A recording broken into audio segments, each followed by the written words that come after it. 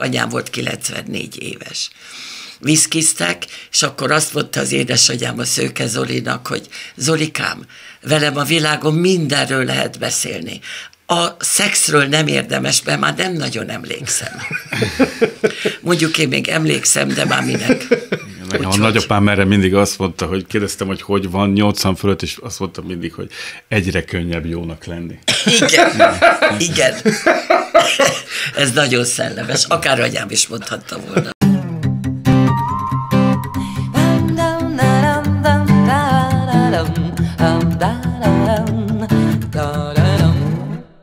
Köszöntöm Önöket, Kadarka Jendre vagyok. Ma itt lesz velem Fodor Zsóka színésznő. A legtöbben talán a Barátok közt című sorozat Magdi anyusaként ismerik őt. Játszott Szegeden, Kecskeméten, Békés Csabán és a József Attila színházban. Bulvár Média valósággal imádja őt, a magyar szórakoztatóipar egyik igazán egyedi figurája. Párosunk másik tagja Csernoszabó András József Attila díjas író, a hazai irodalmi élet szuverén és rendhagyó karaktere. 1997 óta jelennek meg novellái, eszéi, gasztronómiai írásai, összesen 12 önálló kötete jelent meg. Lássuk, mire megyünk ma így hárman. András, te követted a barátok köztöt? Hát megmondom őszintén, és nagyon szégyellem, de nem. De nem azért, mert bármi bajom van a barátok köztel, vagy a sorozatokkal, stb. stb., hanem azért, mert nekem már, ez nem is tudom mikor kezdődött, de nekem már legalább 15 éve nincsen tévém, de lehet, hogy még régebben.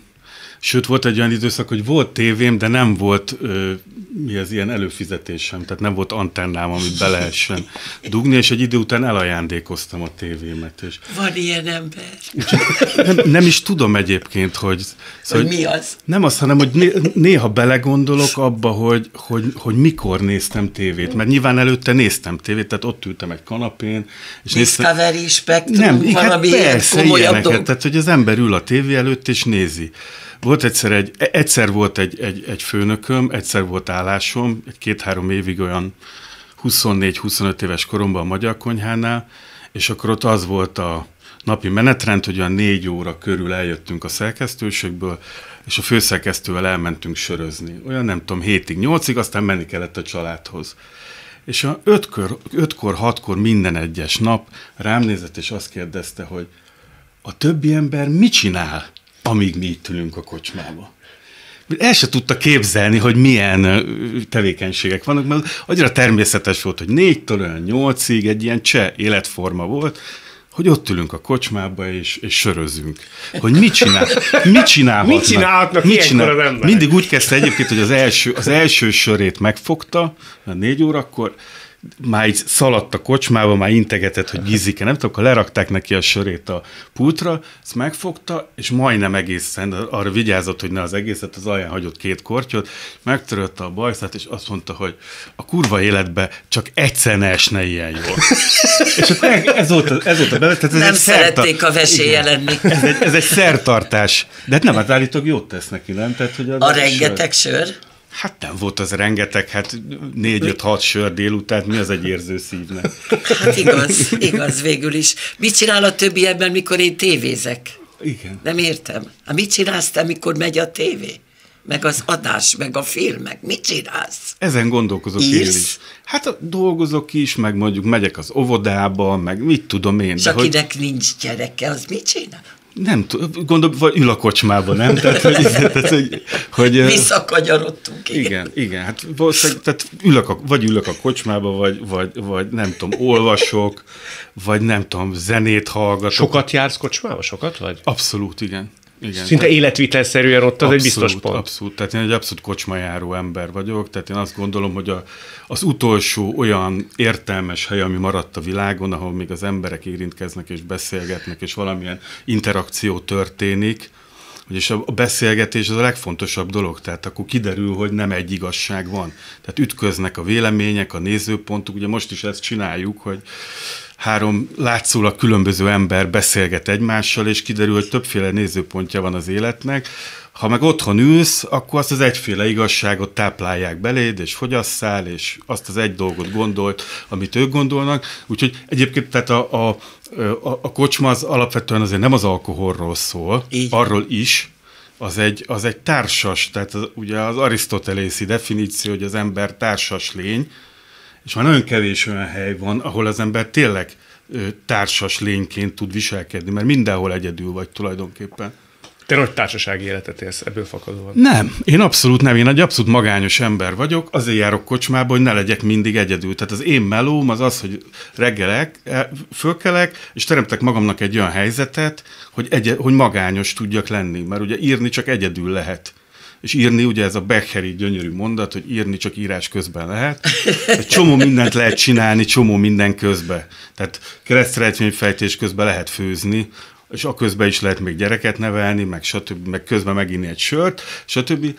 De írni csak írás közben lehet, és ehhez magány kell. Na most, hogyha én egész nap ott vagyok egyedül a, a, a a laptopommal, legyen az egy, egy kávéház, ahol fölteszem a fülhallgatót, vagy otthon a szobámba, vagy stb. stb. Tehát muszáj elérnem azt, hogy valamiképpen egyedül legyek. Akkor utána kiszabadulok, és egy ilyen kóros fecsegő, ami most egyébként látszik is, hogy most képzeld el mondjuk az három sor után amikor izé ez, a, ez föl, föltör az a rengeteg ö, ö, me, ki nem beszélt ö, ö, in, Mondhatok indulat. valamit? Parancsolj két dolog lep meg engem. Az egyik azt hittem, hogy szegény Endre mit fog csinálni az író val, aki József Attila díjas, és éppen ír és nem beszél, hogy mellettem kell ülnie, akit nem lehet félbeszakítani e, első téve. Most már nem beszélek a többet, más, eddig De hogy nem beszél, csak, csak el akartam mondani, de nem tudtam megvárni, amíg levegőt veszel. Tudod, én kivel kocsmáztam? Utoljára a Baranyi Ferivel. Na. A Baranyi Feri nekem egy bizonyos időszakban, amikor még érdemes volt, nekem szerelmem volt, írt is hozzám egy verset, az a cím, hogy mindkettő emberül, és Baranyi Ferivel és édesanyámmal mi kocsmáztunk, és a Baranyi Feridél aranyosabb, édesebb kocsmázót nem tudom, hogy kitaláltak-e. Én imádom a verseit, meg az egyéniségét. Úgyhogy amikor mondtad a kocsmát, akkor csak bólogatni tudtam, hogy igen jól tudja magát az ember érezni.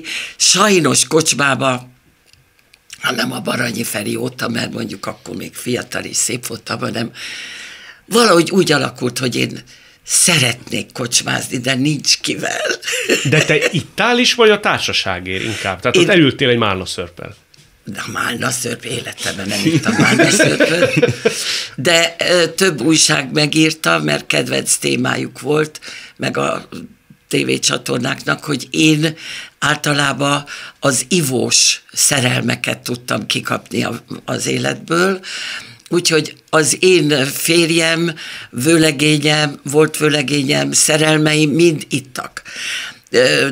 Na most én egy darabig mindegyiket elkísértem, mert nem mennék el az ital temetésére. Nem. De nagyon szomorú lennék, ha koszorút kéne vinnem rá, mert én társaságívó vagyok. Tehát ahogy te mondod, hogy egyedül nem jó inni, de társaságban engem a, a sorozatban például a Várkonyi Adriskám szoktatott, szoktatott rá. Vili bácsi, De úgy is. A Vili bácsi, hát elég szomorú, most már ideje lenne Várkonyi Andrást Igen. a nevén nevezni, ahogy most már az én nevemet kezdik megismerni, és nem a másikat mondják, kivéve határon túl, hogy a viszkit. Én addig soha nem ittam viszkit, amíg nem kerültem be a sorozatba, de aztán a Tihanyi Tócsabával ez a két barátom maradt meg, meg volt a sorozatban, ők viszkiztek. És én nekem meg nem ízlett. Addig uh, ittam, amíg aztán ízlett. És úgy is maradt. Ez a titok. És úgy is maradt. Igen, hát ez, erről eszembe jut egy történet, hogy a, a, az ízli, ízlik, nem ízlik kérdésről, hogy szerintem ilyen 16-17 éves voltam, és akkoriban gimnazistaként a Szamárdelelő csárdába jártunk Szentesre. Ez volt, ez az egyébként a mai napig megvan ez a, ez a műintézmény, gyakorlatilag az ifjúságomat ott töltöttem, a, a 2 plusz 1 zenekar, vagy 1 plusz 1 zenekar, ez egy ilyen lakodalmas rock zenekarnak az aláfestése, zenei 2 plusz 1. Na, volt három, a három, plusz három plusz Igen, kettő. de ez egy másolat volt. Ja, ez egy igen, másolat. Ez egy oregi kopi, ahogy szokták ja, mondani. Ja, igen. És na mindegy, és az volt, hogy, hogy volt egy pedellus bácsi, aki szintén oda járt a gimnáziumból nagy szünetbe. És Hát ő mindig biciklivel közlekedett, de úgy, hogy nem ült fel a biciklire, hanem hogy gondolom Tóta. már csak azzal tudott járni. És ő neki meg a gimnáziumban is mindig csak úgy láttam, hogy egy százas szimfónia volt a szájában, és tolta a bicikliét mint a hozzá lenne nőve, és neki egy, egyedül neki volt a kocsmába is meg, megengedve, hogy betolhatta a bicikliét a pulthoz. És mindig, tudod, hát ez a, ez a 80-as évek legvége, hát akkor még ilyen puszta vodka, meg sütőrum, meg tehát ezek a teljes halálos italok. Izé, Cseresznye volt, volt igen, az feke, én fiatal. Fekete, fekete címkés, címkés cserkó. cserkó. Igen, ez igen. volt a neve, és akkor itt, itt ezeket, és nagyon szerettük, már nem is tudom milyen bácsi volt, talán Pista bácsi, és egyszer oda mentünk hozzá, és mondtuk neki, hogy hát Pista bácsi, hát veszünk valami rendes italt, akkor már jöttek be ezek a viszkik, meg Finlandia vodka, meg ja. ilyen konyak, meg nem tudom, hogy meghívjuk valami, és az nézett ránk nagy szemekkel, hogy hát de miért? És mondtuk neki, hogy hát ez sokkal finomabb, mint ez a sütőrum. És legyintett, és azt mondta, hogy ugyan gyerekem, nem az íze véget tiszuk. ez aranyos. Gyönyörű. Neked a, neked a házasságaidban ez okozott problémát, az ital? Tehát az hogy, az, hogy ezek a fiatal emberek azért ugye pohár fenekére néztek időként, ez zavart téged? A második házasságom erre ment rá, ezért váltunk el, és a második férjem, aki egyébként egy zseniális színész volt, és a Vámos László volt a, az esküvőnkön a tanúja, mert ő a fővárosi operett színházba volt tag, de el kell mondjam, mielőtt a férjeimről lenne szó, hogy én nagyon ilyettel jöttem ide, pontosan azért, mert amikor engem felvettek a a színművészeti főiskolára, akkor engem harmadik esti gimnáziumból vettek fel, tehát én nekem van diplomám, de érettségim nincs, és amikor a Szinetár Miklós, aki osztályfőnökön volt, összehívta az osztályt, és mindenki bemutatkozott, nem akármilyen osztály volt, az Ernyei Béla, Balázs Péter, Bálint Andris, Mór Mariska Drahota, mindenki ugye friss érettségizett, nekem meg az nem volt. És én elsírtam magam, és akkor utána néztem a, az író úrnak, és mondom, édes Istenem, most összehozza Sorseggev egy József Attila díjas íróval, itt valami fenykört dolgokat kell mondani, be kell számolnom arról, hogy én a Tibor családot olvastam, Szerbantal világirodalom történetét olvastam, sat, sat, sat, de nagyon boldog vagyok, és köszönöm, hogy nem erről van szó, ne. és nem fogok pityeregni, mert most nyugodtam meg. Nekem egyébként, egyébként csak, hogy megnyugtassalak, nekem is másodjára lett meg az érettségim. Én, de meg lett. Én matematikából indultam szó, szóbelibe, mert a, a, a, tehát úgy vagy abból csak írásbeli, legalábbis a mi időnkben az volt, hogy csak írásbeli volt, azon, azon 80 pontból hármat értem el, Azért az elég cseké. Cseké, de, de amikor Nem is ez, lett matematikus. Az apukám, amikor ezt megtudta valahol, azt mondom, hogy az anyukám az hamarabb, ugye egy kisvárosban nőttem föl, és ott az anyukám a fodrásznál már hamarabb tudta, szerintem, hogy már meg, még meg se írtam az írásbelit, már tudta, hogy hány pont lett körülbelül. Ugye ez így működik a kisváros. És Igen. akkor vacsora közben egy apámnak mondja, hogy hát, hogy a gyerek 80 pontból hármat kapott, és apám így elgondolkozott, és azt mondja, hogy mi lehetett az a három. amit tudott, igen. amit tudott a gyerek. Tehát, hogy ez, ez egy aranyos. Mi lehetett az a három, amit igen, tudott? Igen. Neked nem is hiányzott később, hogy nincs érettséged? Soha. Soha? Viszont nagyon nagy előnyel indultam neki a főskának az érettségizettekkel szembe, mert én 14 éves koromtól dolgoztam. Édesanyám beteg volt, a szüleim elváltak, én édesanyámhoz kerültem 56-ba, ott hagytam apámat, akivel jártam 14 éves koromig albérletről. albérletre. Ne is ugorjunk ezen át, mert az szerintem egy nagyon érdekes családi dilemma vagy helyzet, hogy elválnak a szüleid, azt hiszem 9 éves voltál, mikor Úgy van. A bátyát került édesanyádhoz. Úgy van. Te pedig édesapádhoz. Igen, ő keresett jobban. De az föl sem merült, hogy esetleg ti együtt nőjetek fel? Nem. Tehát a bátyáddal? Édesanyám beteg volt, édesapám ö, ö, beleszeretett egy kolléganőjébe, és ö, mondta édesanyámnak, hogy nem az a helyzet, hogy nem szeretlek Rózsikat, de nem tudok a Bori nélkül élni.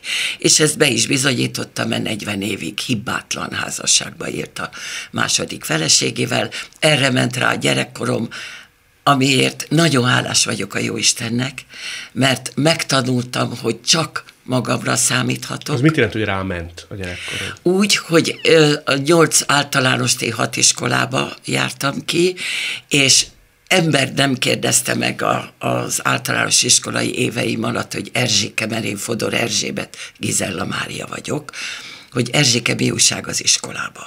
Senki. Senki soha. Édesanyám beteg volt, édesapám el volt foglalva a szerelmével, a bátyám meg kamasz volt, és ipari tanuló. Mihez kezd ilyenkor egy kis kamasz? Tehát mi, mi jár az esze? Kinek beszél Én... a benne zajló dolgokról?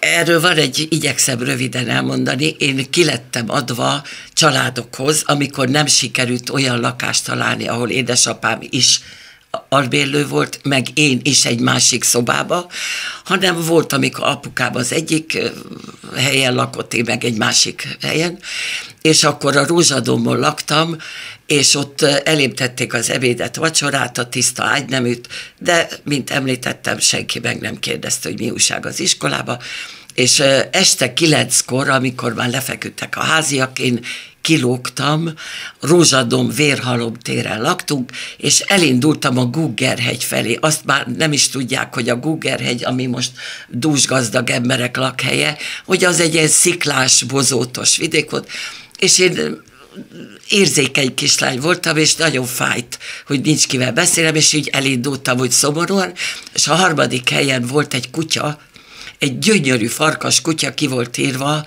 hogy harap.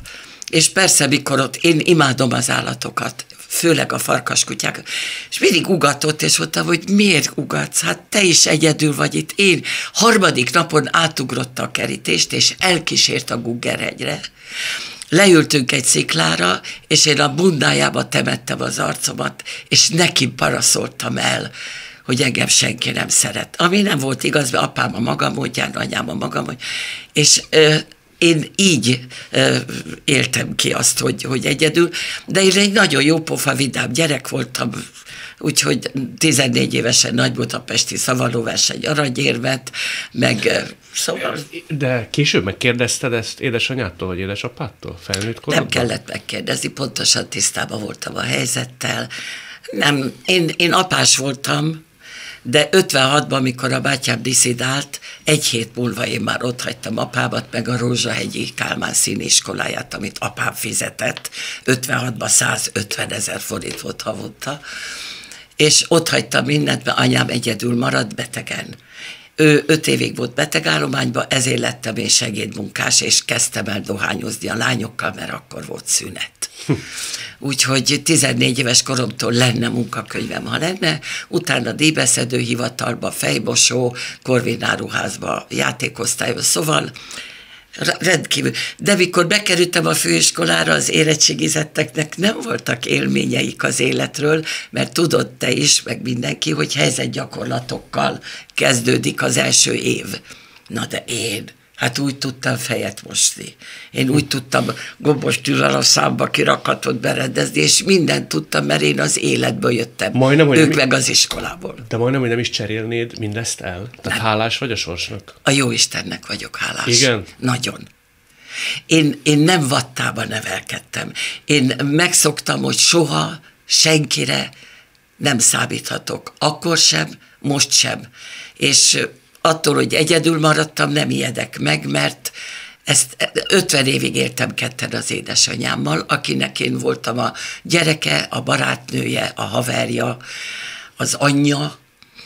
Úgyhogy ha nem így telik el a gyerekkorom, hanem szerető szülőkkel, akkor talán nem lettem volna ilyen talpra esett ember, és soha életemben nem kértem kölcsön, soha nem kopogtattam szerződésért, soha nem kértem segítséget senkitől.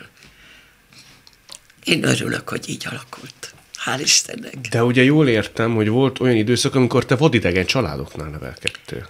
90 százalékban egyszer egy... 90 százalékban? Igen. Egyszer egy vadidegen családnál úgy sikerült a helyzet, hogy édesapám lakott az egyik szobában, a családnál, én a másikba. És vasárnap együtt ebédeltem a családdal, édesapám, és ott nagymama, papa, feleség, nagylány, és akkor ez volt az ötvenes években. És vasárnapi ebéd, és a nagymama kiosztotta az ételt, és akkor ültem, ültem, és elkezdtem sírni. És rémülten kérdezte az apám, hogy Erzsé, hát miért sírsz? Nem nekem adták a combot. Még most is a torkomat folytogatja a sírás. Ebbe bele volt sűrűsödve az én, az én fájdalmam, hogy kilenc éves koromig én kaptam a combot. Hm. Attól kezdve soha nem én kaptam a combot. 14 éves koromig, amikor anyukámhoz kerültem, és azután megint nekem adta. 14 után megint a comb neked járt. Igen, igen, nem akarok aztán ezen feltétlen leragadni, azt mondod, hogy utólagosan örülsz neki. De felül tudja írni az emberben ezt a keserves öt évet? Különösen a gyerekkor tekintetében, amikor ennyire érzékeny valaki, és ilyen uh, nehéz pillanatokat kell átélni. Hát azért azért nagyon szívfájdító pillanat, amikor azt mondod, hogy a kutya bundájába kapaszkodva sírtad el tulajdonképpen azt, amit nem tudtál másnak elmondani. Furcsa módon nem haragszom az édesapámra. Én a gyerekkorom ugye ráment, de én nem voltam egy szomorú kisgyerek tulajdonképpen az iskolába. Néha szomorú voltam, de valahogy a mai napig és a, a félig üres pohár, vagy félig tele pohár. Te telét látod általában. Én, én általában nem az fáj, hogy, hogy csak fél pohár vizem van, hanem örülök, hogy van fél pohár vizem. Nem fájt. Nem fájt, és az édesapámat azért értettem meg, és nem egy barátnőmnek, aki elvált, vagy a férjnek, vagy a feleségnek mondom, hogy egy életünk van. Nincs egy másik, amit a Borival majd leélek, akiben szerelmes vagyok. Egyetlen egy életünk van. És ha a boldogságot ő így találta meg, már pedig 40 évig így találta meg, akkor én hogy jövök ahhoz, hogy felülbíráljam? És örülök, hogy végül is 40 évig boldog volt az apám. És te kijöttél a mostoháddal például ez az Nem, átmenet? eleinte nem. nem, nem. Egyszer anyukám a bátyámat meg engem leráncigált a villamosról, akkor még apukám nem költözött el, de már szerelmes volt, és a Vörös Marti moziba ment a B ügy című film. És apuk, apukám fogva ment be Borival, és anyukám kinézett a villamos ablakán, és lerángatott minket a villamosról, és berohadtuk a moziba, és anyám egy temperamentumos, egyébként rendkívül szellemes, okos asszony volt, ezt nem jól csinálta, neki esett az apunak, aki bemenekült a WC-be, és én meg belerúgtam Borinak a bokájába, de nagyon, hogy elvetted az apukámat, címmel, na ezek után kerültem ő hozzá, miután összeköltöztek. Aztán végül is apám kapott egy lakást, és akkor hárban. András, a te esetedben az fölmerült, hogy esetleg orvos légy, mint szinte mindenki a te családodban. Ugye jól tudom, hogy szinte mindenki orvos. Hát igen, az nem teljesen, mert ugye ez egy, ez egy baromi nagy család, mint minden család. Ugye az egyik ága az egy ilyen teljesen orvos család, és hogy most egy kicsit el is szégyeltem magam, mert én meg egy ilyen teljesen normális családba, vagy ilyen normál plusz családba nőttem Sokan fel. vagytok, így ne szégyelt. Igen, és igen. hogy ezek után ez egy kicsit, kicsit uh, uh, zavarba vagyok, hogy ilyeneket kell mondanom. Nekem két, két orvos volt a szülőm, akik nem váltak el, én egy, gyakorlatilag egy hülye gyerek voltam, de azért voltam hülye gyerek, mert megtehettem. Mert az egy, mit jelent, hogy hülye gyerek? Hát az hogy, az, hogy mindig a bukás határán voltam, mindig intőt kaptam, mindig ki akartak rúgni az iskolából. De furcsa. Stb. stb. De hát ez nyilván azért, mert egy burokban ja. lévő, létező voltam, aki bármit megengedhetett magának, mert ugye egy hálóra hullott. És nagyon sokáig, sokáig így éltem, és nagyon jó kapcsolatom, hogy az anyukám már meghalt de az apa, apámmal egy nagyon jó kapcsolatom van, egy nagyon közeli kapcsolatom van, úgyhogy én nem tudok ilyen, ilyen, ilyen mm, tragikus sorsról beszámolni, de mindig azt szoktam mondani, hogy az én, az én nagy tragédiám meg az, hogy egy ilyen jó családban nőttem föl. Már amennyiben, hogy nem jutott osztályrészül neked egy ilyen keserves, vagy hát igen, igen, ne, igen, tehát hogy nekem mindig meg kellett keresnem a saját magam kis tragédiáit, meg borzalmait, és ezeket saját magamnak ja. kellett megteremtenem, mert nem hoztam magammal ezeket. És miket sikerült találnod, hogy megteremtened? Hát, hogy ezeket a gyerekkoromtól kezdve, hogy én voltam a hülye gyerek, aki meg akart bukni, aki intőt kapott, aki megbukott az érettségén, aki aztán izért, tehát hogy aki, aki, aki nem tudott egy olyan, olyan ugye én a, a három unokatestvéremmel négyen nőttünk föl tulajdonképpen a nagymamámnál. Igen, mert hogy ugye négy orvos volt, a négy szülő, és a nagymamám volt az, aki, aki otthon volt. Bár ő is dolgozott még, nem tudom, nagyon sokáig, de hogy ő nevelt föl minket, ott voltunk négyen, és aztán mondom nekem ezeket a saját kis, saját kis tragédiákat, vagy saját kis rossz dolgokat nekem kellett izé megteremtenem. De aztán sikerült ezeket megteremteni. Sikerült. Igen. Szinte repülő rajtot vett a kezdés, ugye? Tehát az első írásaid egyikét például már Eszterházi olvasta föl egy az fesztiválon. Igen. Ezt jól tudom, ugye? Hát igen, ez egy nagyon gyors dolog volt, mert nem Tudod... szállt a fejedbe a dicsőség? Csak ezt akarom kérdezni. Nem szédültél meg? A fiatalember el tudja hinni magáról, hogy Hát én nem, nem tudom, vagyok. mert nem, abszolút nem emlékszem rá. Tehát, hogy mit tudom én, ilyen 23, 24. Hát egyrészt, igen, egyrészt, egyrészt ez volt. Emlékszem, hogy amikor először bementem a magvető kiadóz, és ilyen 23 éves lehettem, és már jelentek meg novelláim itt ott, ilyen ésbe, meg jelenkorba, meg stb. És akkor a Morcsányi Géza volt az igazgató a magvetőnél, és akkor behivatott, és ott beültetett egy székbe, nekem fogalmam, arra emlékszem, hogy ilyen oroszlános karfa volt, és azt fogdostam ott nagy zavaromba, hogy hova kerültem, és mondta, hogy szeretne a magvető egy, egy kötetet tőlem, és úgy nem is igazán érdekelt a dolog, de megkérdezte, hogy mit lehet inni. Na most ez már jobban érdekelt, és akkor, akkor a, ő mondta, hogy miket szoktak az írók inni, és azt mondja, van egy albán konyak, az senki nem issza és mondtam, hogy akkor azt én szeretném, abból nyilván többet lehet inni, és akkor az olyan, nem tudom, az olyan fele... Jó. Nem tudom, tehát, hogy ezért, tehát nem az íze véget isszuk. Tehát, ja, ja, persze elfelejt. Tehát, és akkor azt én baromira élveztem, hogy én egy akkor ember vagyok, hogy ülök ott a Morcsányinál egy ilyen karosszékbe, és akkor én albán konyakot ihatok, és akkor nyilván most akkor biztos felnőttem, de hát nyilván nem nőttem föl.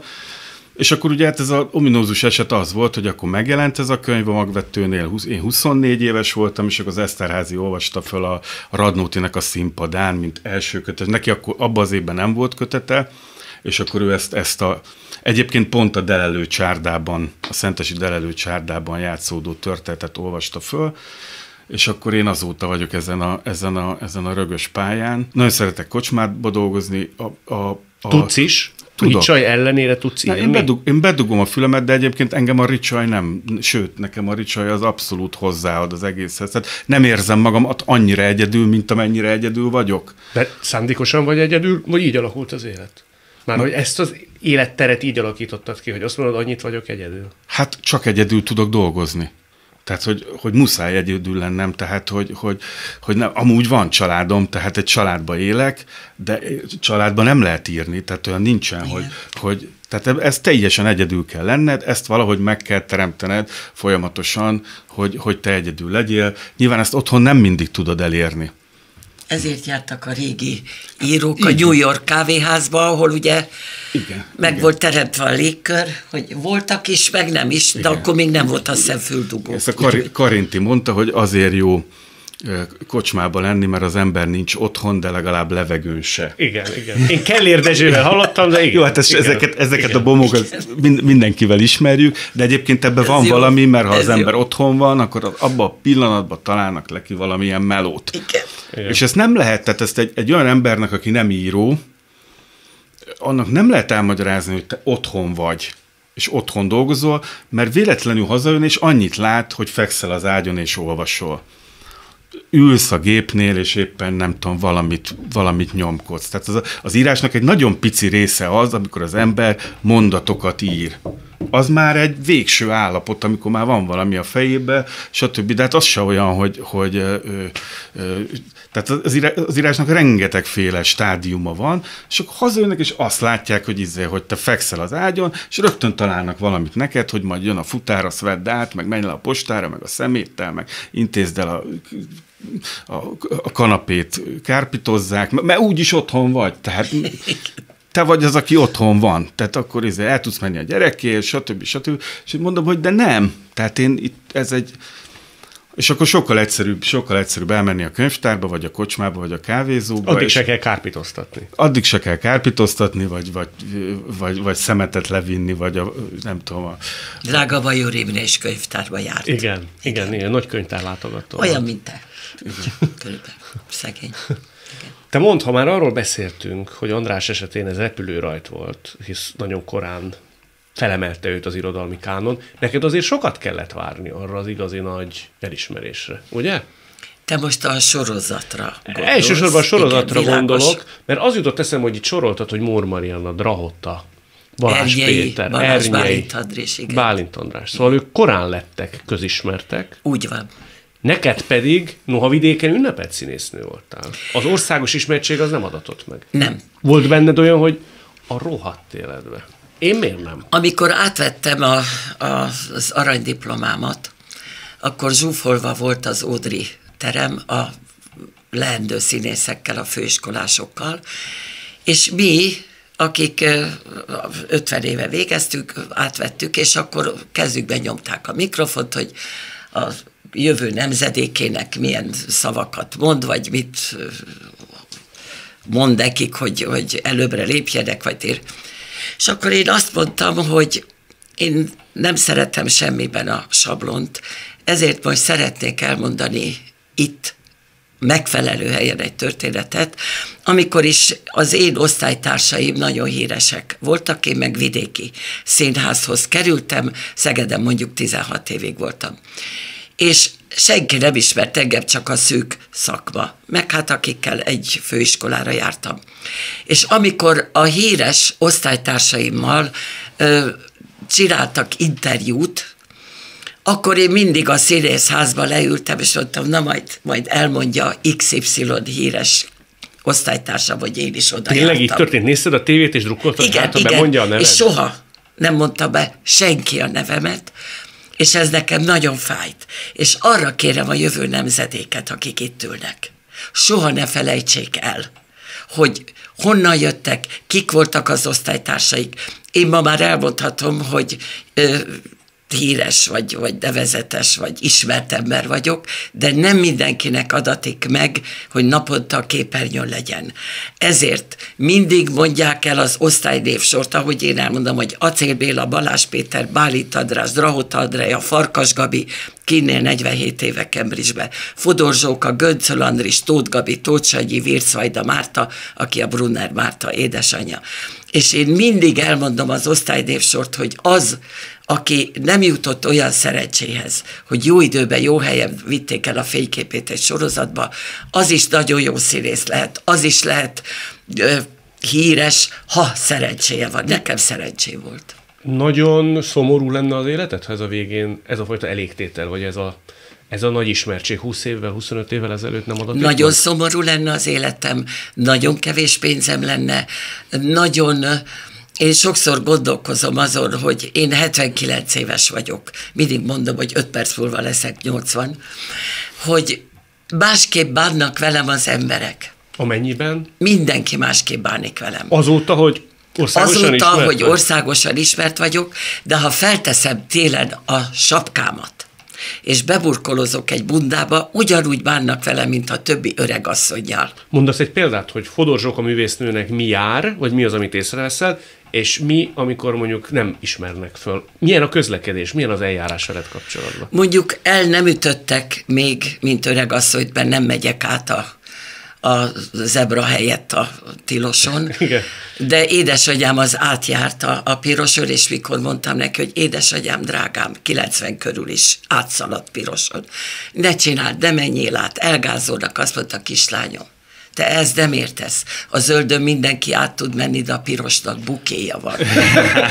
szóval anyám egy ilyen asszony volt, de ha például én átmennék, nem zebrán, volt úgy, hogy megállt a, a busz, és fölvett engem, látta, hogy lekéstem volna, és a 105-ös buszon reggel 7 órakor mentem a, a nyugdíjas klubba, Hősök terén volt találkozó, és megnyomtam a gombot, hogy leszállok a, a többet buszta, egyszer csak felharsadt a buszsofőr hangja, hogy művésztők, örülök, hogy velünk tetszik utazni, további jó utat kívánunk, ja, és a lépcsőn tessék vigyázni.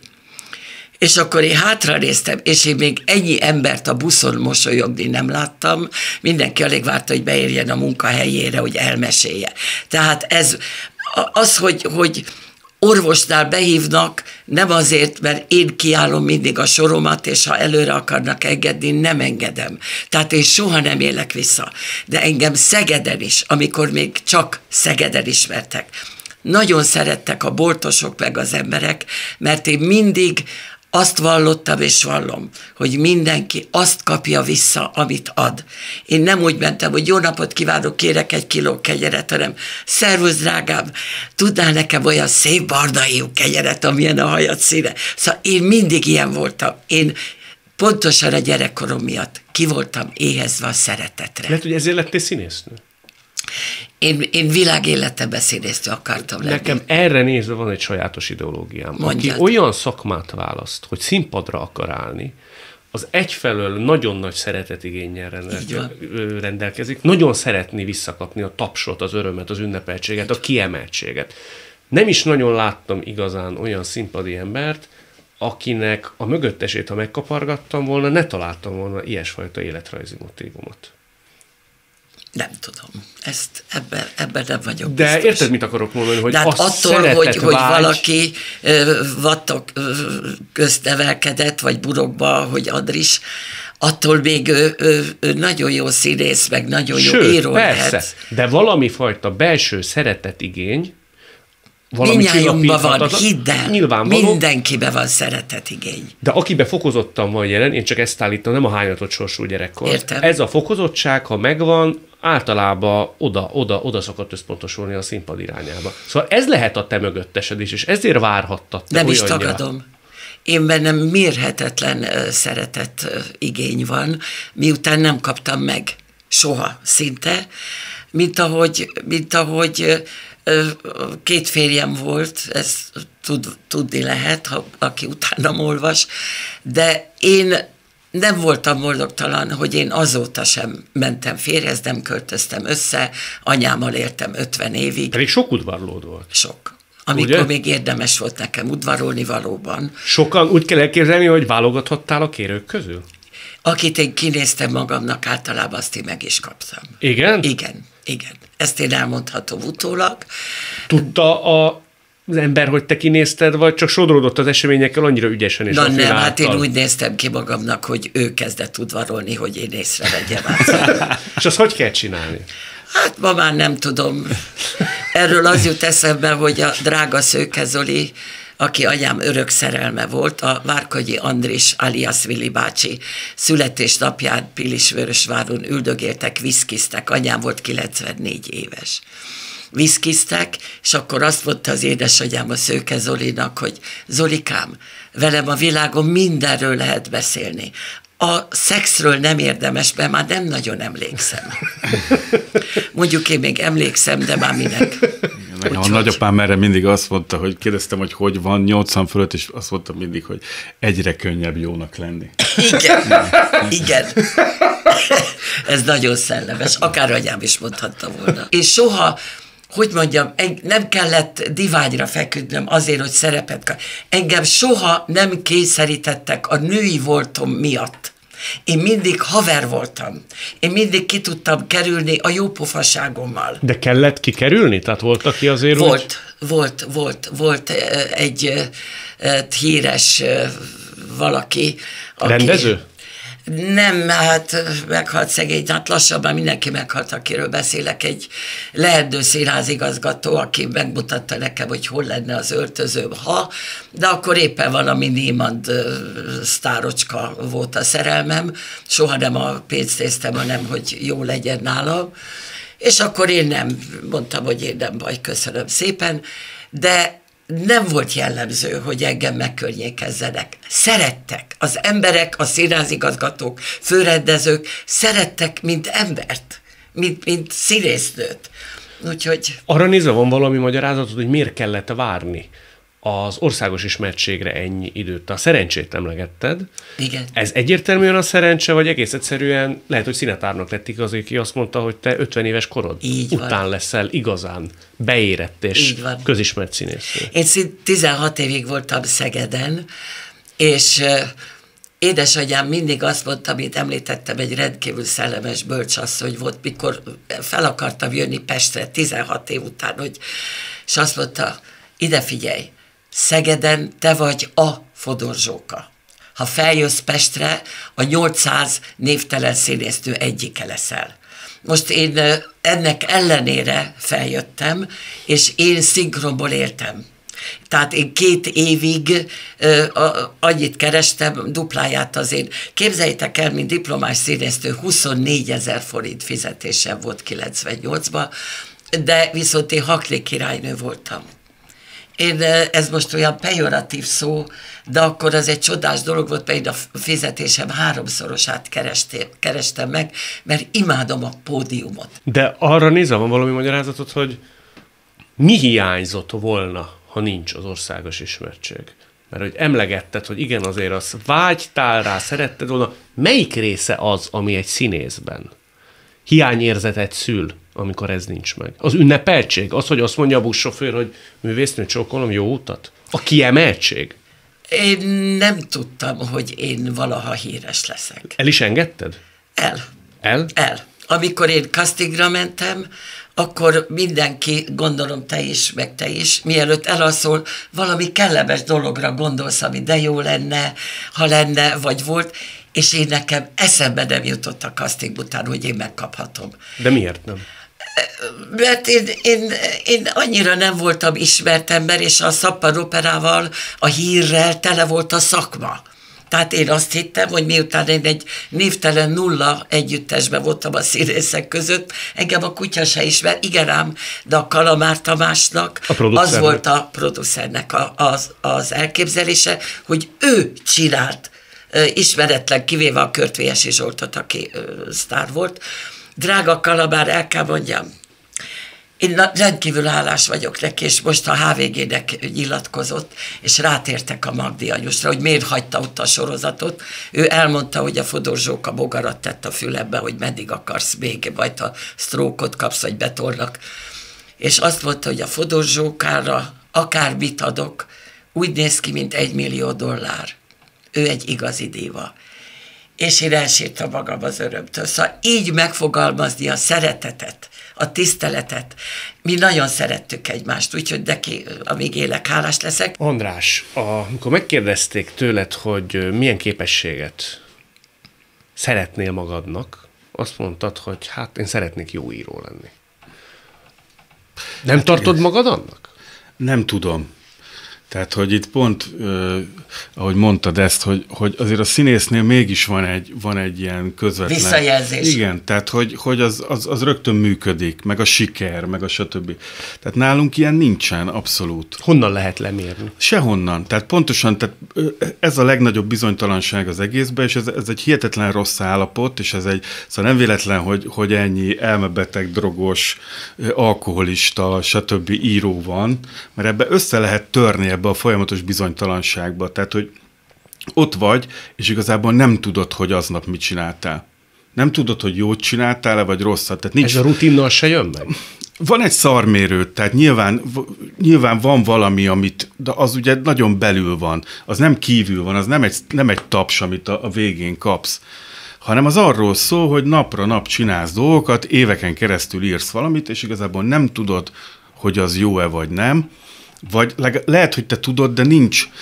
Mondok még egyet. Attól, hogy neked jó a kritikád, attól még nyugodtan lehet szaríró. És At- fordítva is. És fordítva is. Attól, hogy téged nagyon sok ember elolvas, attól még nyugodtan lehet szaríró, és fordítva is. Tehát nincs egy, nincs egy olyan ö, ö, ö, mérce, amivel meg tudod, meg tudod külsőleg magadat mérni, ott vagy egész nap egyedül, nincsen főnököd, aki megmondja, hogy mit csinálj, akire lehet mutogatni. Nincs hogyha... ilyen barátod, vagy nincs ilyen ember, Nyilván akinek vannak, adsz a véleményére? Nyilván vannak, de ezek azért, és még egy dolog, ami nagyon fontos. Tehát az, hogy, hogy bármikor elmúlhat, még hogyha jól is voltál, jó is voltál, se, nincs arra garancia, hogy te holnap meg tudsz írni még egy olyan novellát, uh-huh. amit múlt héten megírtál. Mert a tehetséged nyugodt, ha volt egyáltalán, amiben nem vagy biztos, az nyugodtan elmúlhat a jövő hétre, és nyugodtan kámforrá vált. Ugye erre mondta azt a Hemingway, hogy vagy az író hal meg előbb, vagy, vagy az ember, és szerencsésebb az, hogyha az ember. Hm. Ugye ja, nyilván igen, abba, hogy igen. ő szájba lőtte igen. magát, arra következtetünk, hogy úgy érezte, hogy ugye az író halt meg, hát. Ö, ö, először. Akkor szóval mindenkéjed az ember. Igen, tehát ez egy, ez egy hihetetlen bizonytalan, bizonytalan és magányos állapot, és nincs ilyen. Hát lehet, hogy ez valószínűleg az, hogy te jó író vagy, vagy voltál, az valószínűleg 50-100 év múlva, tehát ha annyit túlélsz, és még akkor is jelent valamit a te könyved, akkor, akkor dől el, hogy te tulajdonképpen te milyen író volt. Hát nem, nem. Tehát az örök, az, szoktam mondani, hogy mi az örök létre rugunk 11-eseket. Tehát. Ez jó. Ez jó. Minden esetre most olvasgattam, és Kácsor Zsolt emlékezett meg rólad az egyik napilapban, és azt mondja, hogy ültetek együtt, azt mondja, Kerékgyártó Istvánnal hármasba, és fél óra alatt három ember ment oda hozzád, és szorongatta meg a kezed, mert annyira szereti a te írásaidat, és azt írja Zsolt, egyébként kiváló sorozatában, hogy azért ez elég példátlan a magyar irodalomban, hogy valakit így arcról ilyesfajta szeretetben részesítsenek. Hogy neked van egy masszív és jól látható olvasóközönséged, írja ezt ő, ami azért nem annyira gyakori. Tehát, hogy ez egy számottevő és mindenki számára szabad szemmel is látható tábor. Ez tény, hogy, hogy van. Ez tény, hogy van, nem olyan nagy, de azért az, a, a, ami van, az masszív. Tehát azt, azt állíthatom, hogy ilyenek szoktak történni, és ezek az embernek hihetetlenül jól esnek, de ez nem segít. Tehát ettől nekem ugyanolyan nehéz ö, ö, másnap leülni és írnom. És Tehát, hogy tényleg nehéz? Nehéz, Persze. igen. Tehát ez nem egy ilyen önkínzó, nem. kicsit lila, nem, írói attitűd. Igaz, amit az Eszterházi mondott, hogy író az, akinek gondot okoz az írás, az teljesen, teljesen így van. Tehát És nekünk, akkor hogy veszed rá magad? Hát az, hogy nem értek semmi máshoz, muszáj ezt csinálnom, reggel Ez fölkelek, és akkor megteremtem azt a helyzetet magamnak, hogy tudjak írni. Az hogy kell csinálni? Hát azt, amit már Elmegy elmondtam. Igen, tehát valahogy magány teremtek ahhoz, ja, hogy, magány. hogy egyedül tudjak lenni, és aztán este egyáltalán nem vagyok benne biztos, hogy, hogy, hogy valami, valami jó történt, vagy valami rossz történt. Tehát ez egy, ez egy, ez egy nagyon, nagyon bizonyta, ami, ami hihetetlen megviseli az embernek a lelkét. Tehát ezért mondtam, hogy azért megtaláltam magamnak a, a, a, a, a, igen, a, a, a rosszat, a és, rosszat a, és, a, és a tragédiát. Tehát, hogy ez, mindig az apámat szoktam fölhozni, hogy az apám mondjuk 30 éves korára kiárta az egyetemet Szegeden, elment ö, ö, a kórházba, kapott egy szakvizsgát, stb., és előbb-utóbb megtanult ö, ö, mondjuk egy császármetszést megcsinálni, és utána évtizedeken keresztül éjjel-nappal, éjszaka, ha őt fölhívták, vagy nappal, vagy bármikor álmából fölébresztették, ő tud csinálni egy császármetszést. De és ez egy, volt boldog ember, Igen, nem? de hát hogyha hogy fogja a saját szakmáját, és ez egy rengeteg szakmában így van, én nem tudom, hogy holnap mit tudok Igen. megcsinálni, vagy Értem. mit nem, és abban sem vagyok benne biztos, hogy mit csináltam mondjuk a múlt héten, vagy mondjuk három évvel ezelőtt. Ezért is nem olvasom a saját könyveimet. Nem. Nem. Nem. Tehát elengedted, kinyomtattad, Így kész? van, soha többet el nem olvasom, mert nem akarok azzal szembesülni, hogy mondjuk a, a mostani szarmérőm, ami biztos, hogy teljesen más, mint mondjuk a 20 évvel ezelőtti szarmérőm, az mit mondana mondjuk ezekről. Tehát például a, az első három könyvem az, az az teljesen hiányzik, és azt ilyen kis számban nyomták ki, elfogyott, nem nyomták újra, stb. És ezt mit tudom én, ilyen 15 ezer forintért lehet ilyen árveréseken megvenni, és jönnek ezek az emberek, akik akik, akik dedikáltatják, megvették, és tényleg rajongói ennek az első három könyvnek. Mondd a címüket, légy szíves. Nagyon egyszerű, mert fél négy, fél hét, és félelem és reszketés nagy hályogon, ez a, az, ez a, a, fél, a úgynevezett fél trilógia. De hogy és akkor jönnek és mondják, hogy őt, ezt, ezt már akkor is hogy szerették, 98-ban, meg 2000-ben, meg nem tudom, miért nem lehet kapni, és akkor elkezdenek beszélni arról, hogy ott ilyen, hogy kik szerepelnek benne, fogalmam sincs, tehát próbálok ott valamit mondani, nem tudom, hogy miről szól, nem Mert emlékszem. nem olvastad a könyvedet. Hát olvastam akkor. Akkor, de kinyomtatás hát után már... 98-ban volt, tehát hogy 98-ban olvastam utoljára ezt a könyvet, mm. és, és fogalm sincs, hogy, hogy, hogy mi történt, meg hogy tetszene el nekem. Valószínűleg nem egyébként. Egyébként a szerkesztőként is ö, kiváló vagy, tehát sok embernek gondozott, gondoztad a szövegét, és az jutott eszembe, aztán lehet, hogy ezt kikéred magadnak, hogyha mondjuk megállít egy rendőr, igazoltat, és történetesen nem ismer meg, akkor te mit szoktál bemondani? Mi a te Egy foglalkozásod? rendőr miért ne ismerné meg? Lehet, hogy megismeri, de ha történetesen Ja. nem. Nem volt ebben semmi Nem állít, nem állít meg, mert nincsen jogsím. Ja, nincs tehát, jogsím. Is, tehát én egész gyerekkoromban, sincs. és tévém sincsen. Tehát, hogy én egész gyerekkoromban úgy nőttem föl, hogy ezt nyomták de ez volt a reklám, hogy ön választ, iszik vagy vezet. És akkor Igen. arra gondoltam, hogy én, én választottam. Én, És konzekvensen Igen, tartod magad igen, ehhez. Tehát nekem eszembe nem Neked jutott meg az... autód nincs. Igen, Már. tehát, hogy, 45 hogy, évig. Na, autóm az van, csak nem, csak nem vezetek. Tehát, hogy, Ott igen, vagy- igen, igen. Hát nem lehet mellette, ha ilyen elkötelezett a másik mellett. Mondok erre egy izet, sztorit, nem szeretnék minden, minden komoly kérdésedet elütni egy, egy, Nyugodtan. egy, egy ócska ö, ö, sztorival, de hogy, hogy mit mondok. Tehát, hogy én nekem például ez nem sokat jelent ez az egész siker dolog. Hát nyilván, hogy oda jönnek, tényleg nagyon jól esik, de nem, én ezért nem bizsergek ettől. De Tehát, mit mondasz, hogy szerkesztő vagyok? Szöveggel foglalkozom? Irodalmár vagyok? Író vagyok? Hát én azt szoktam mondani, hogy író vagyok. Hát író vagyok. Tehát most már egyébként most már ezt nyugodtan lehet mondani, mert amikor még elindultam íróként, akkor nagyon kevés író volt. Most már rengeteg író van. Minél kisebb a társadalmi státusz ennek a foglalkozásnak, annál többen akarnak író lenni, tehát már fél ország író. Meg színész. Igen, igen tehát hogy felhigult, kétség Igen, kívül. azt látom, hogy már minden, mindenki író akar lenni, úgyhogy Mondhatod, hogy van egy történeted, egy anekdotát, csak nem akarod megúszni, és én még belét folytottam a szót. Ja nem erről, a, erről, a, erről a, hogy, hogy, hogy ki vagyok, meg ki ismer, meg siker, meg nem tudom, tehát hogy Amire azt mondod, hogy nem tartott különösebben sokra. Nem, nem. Tehát, hogy engem ez, engem ez nem bizserget, hogy nem tudom, hogy, hogy milliók szeressenek, vagy tízezrek szeressenek, vagy a képernyőn legyek. Utálok szerepelni egyébként, tehát nekem a, tehát az, az íróság az egy, az egy az nem színészet, tehát hogy, hogy, hogy mi úgy akarjuk magunkat megmutatni, hogy mi nem egy színpadon állunk, hanem mi elbújunk egy íróasztal mögé, és onnan pofázunk különböző ö, ö, hősöknek, vagy szereplőnek a ö, ö, szereplőket beszéltetve. Tehát úgy akarjuk megmutatni magunkat, hogy közben, közben elbújunk. Tehát ez, ez, ez nekem nem, nem, és akkor csak az, ez volt a sztori, hogy, hogy egy ideig a Bödöccsel és a Bereményivel jártunk az Izolabellába, Bödöt. és, Éva. és, és, Bödöcs és. Bödöcs Tibor. Bödös Tibor, Ja, mert én, a bödö, én az árkus feleségére gondoltam. Én, a én szerkesztettem Bödöcs az első könyvét, Igen. stb., és a Bereményivel is szoktunk kocsmázni, stb. És volt egy ilyen hármasunk egy ideig, és az Izola Bellából jöttünk mindig, ugye, ami egy ilyen legendás kocsma, ugye a Csetamás sék jártak oda, aztán a Petri György járt oda, most ilyen Csetamás emlékhez. ez? Ez a, ez a Batyányi téri vásárcsarnok mögött. Igen, kis pipa? Nem, Ja, nem, a kis Izola pipa Bella. az a, az a Váb házkörúton van, bocsánat. És amikor az bezárt, nem tudom, évek, akkor még mindig ugye a Moszkva tér fölé fölsétáltuk, és akkor még bementünk egy-két kocsmába, stb. És volt egy ilyen, ö, ö, amikor ugye le tudtam mérni az én ismeretség, vagy az én ismertségemet a két hihetetlen népszerű úriember mellett, hogy mentünk, és ott a hattyúháznál van egy kocsma, és éppen beslisszoltunk volna, amikor becsukták az ajtót. És akkor egyszer csak, ki, mert hogy bezárt az is. És akkor ben, átnéztek az üvegablakon, és egyszer csak az, hát gyerekek, nyissunk már ki ez a bödöcs. És kinyitották az ajtót, azt mondja, hát gyerekek, itt a bödöcs, azonnal csapoljatok.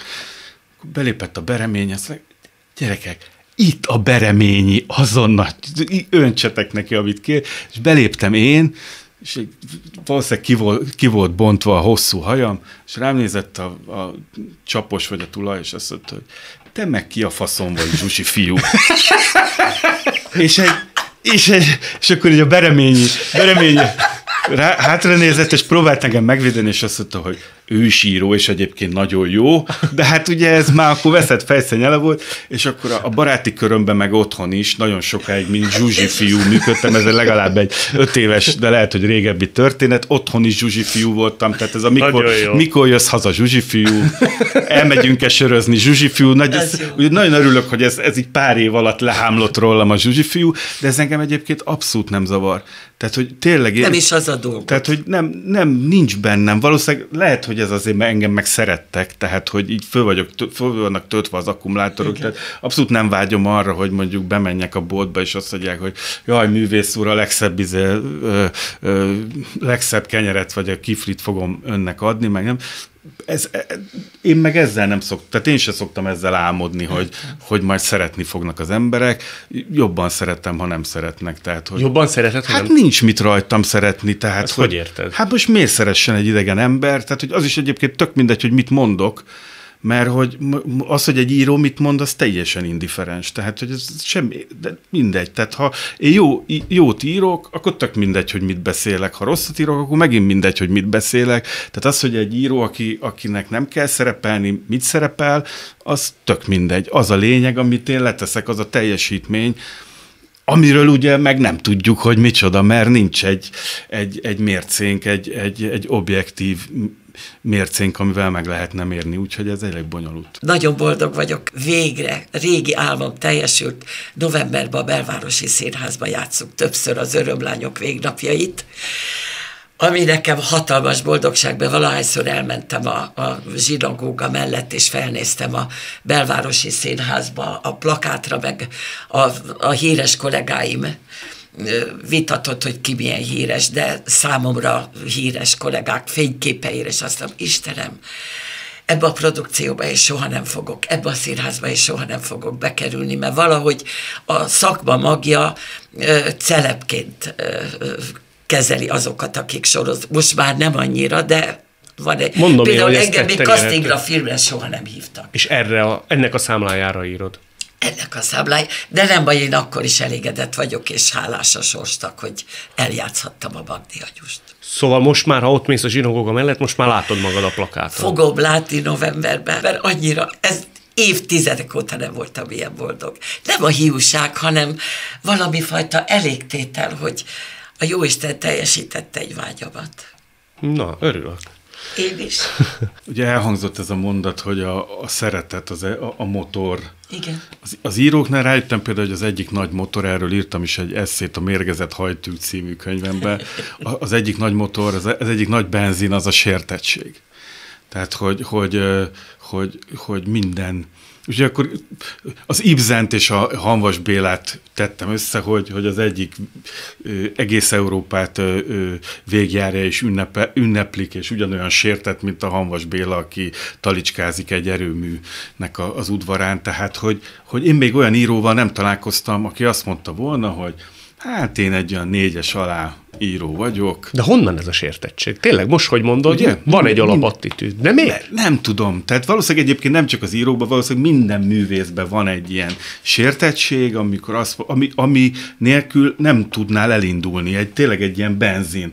Hogy én most megmutatom nekik, hogy nincs igazuk, mert én mégiscsak ezért. Tehát, amit például Hrabal mondott mindig, hogy neki a, neki a legnagyobb erőt mindig az adta, hogy, hogy a fölkelt másnaposan, és elkezdett mosogatni, és az anyja, a halott anyja hangját hallotta mindig, aki korholta őt. És akkor úgy érezte, hogy akkor neki meg kell mutatni az anyjának, hogy ő mégse olyan rossz, mint amilyen tehát, hogy valami, ez biztos, hogy ez a, ez a, ez a, ez a, ez a majd én megmutatom, ez a sértettség mindenkiben benne van. Engem valóban nem, nem érdekel. Tehát, hogy pontosan azért nem érdekel, mert látom, hogy hogy attól, hogy egy bizonyos kánonnak én meg tudok-e felelni, attól én nem vagyok jobb író. attól, hogy én egy bizonyos széles közönségnek meg tudok felelni, attól nem biztos, hogy jobb író vagyok, sőt attól, hogy mondjuk én a, hány kollégámmal ö, vagyok jóba, attól se. Tehát, hogy engem tényleg ez érdekel, hogy ha már ezt csinálom, az amikor megkérdezték, hogy milyen képességet szeretnék, az én szeretem, hogy mindenki valami más szeretne, mint amit csinál. Az emberek 99% azon megkérdezik, hogy mit szeretne, biztos, hogy nem a saját foglalkozását, akkor amiben rengeteg energiát és időt ö, ö, már beleöntött, én azt szeretném, hogyha ha, ha jó író lennék, és nyilván van erről egy elképzelésem, ami, ami nyilván hullámzó. Most épp hol tart? Hát most ugye egy, egy, egy sok éves vállalkozásnak a végén vagyok. De hol van a mérőd? Hova most, helyezed? most, most szerintem elég jól állok. Most a pozitív saját, tartomány. Igen, igen, most elég jól állok saját magam előtt, és egy olyan, egy olyan dolgot csináltam, nyilván a sértettségemből is kifolyólag, hogy hogy én arra most azt érzem, hogy jó, nyilván, amit mondta, hogy vannak külső, ez a legnehezebb egyébként, ez a külső szem, hogy egyszerűen tényleg tartani kell két-három embert arra, akik, akik szeretnek, de azért, de azért nem úgy szeretnek, hogy... hogy elfogulatlanul, elfogulatlanul és igen. De hát hol van az megírva, hogy pont annak a három embernek lesz igaza, lesz igaz, és, igen, igen, és ő, ő, ők az igen. objektív, és le tudják azt a, azt a kapcsolatot vetkőzni, ami, ami, ami kettőtök között van. Maradjon ez a tartomány itt a pozitív dimenzióba, Neked sok sikert akkor a belvárosi színházba. Parancsolj! Én csak az anyukámtól tudtam idézni, és csak pironkodva hallgatom, hogy egyre nagyobb emberek, de, meg íróktól de én is, én is idéztem az anyukámtól. Meg a, meg a nagypapától is. tudtam. És mennyire jó, hogy ezt hallhattuk. Fodor Zsókának és Csernaszab Andrásnak nagyon szépen köszönöm. Köszönöm, hogy meghívtál. Én is köszönöm.